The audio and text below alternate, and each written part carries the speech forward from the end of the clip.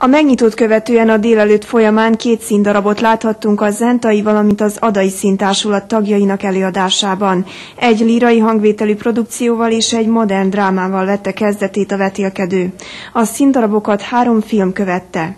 Van önmagában, eh, hogy ez a két műfaj minden évben szép számú produkcióval elkápráztatja a fiatalokat, a nézőket és, zsűri, és minket, és zsűrit, megéri a számunkra is, a fiatalok számára is, hiszen az egész rendezvény egy nagy szellemi műhaj, egy önmagában, hiszen minden produkciót véleményezünk, és azt hiszem talán ezekre, ennek a versenynek ez a legfőbb ismérve és értéke.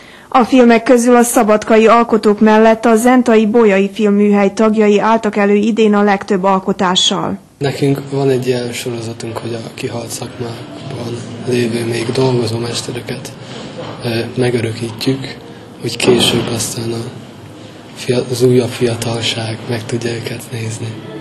A Szabadkai Rádió Fiatalokról Fiataloknak című ifjúsági műsorának tagjai idén is kritikus hangvételű előadással készültek a vetélkedőre.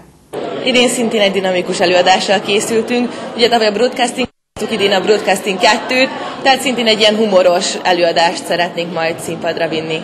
Kritika, vajdasági kritika leginkább, ami a fiatalokat foglalkoztatja, szórakozás, ugye szabadidő eltöltése, szülők, tanárok, oktatás, politika, tehát minden benne lesz egy kicsit.